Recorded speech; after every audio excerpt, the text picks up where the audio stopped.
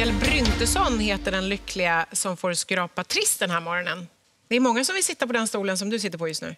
Jag kan tro det. Har du tänkt tanken själv innan, innan du hamnade här? Nej, inte riktigt. Du har inte det, va? Det var en tillfällighet att du fick eh, tv-trissen.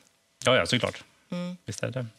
Varsågod och ta en låt. Tack. Var det inte så att du inte ens skulle skrapa trist, du bara råkade göra det fast du egentligen skulle spela på något annat? Ja, men precis. Det var faktiskt så. Vissa har tur. Ja, Ja. Du kan Ja. börja skrapa. jag kör.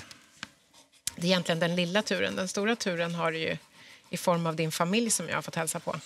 Just det, exakt. Två jättefina grabbar och en fantastisk fru. Mm.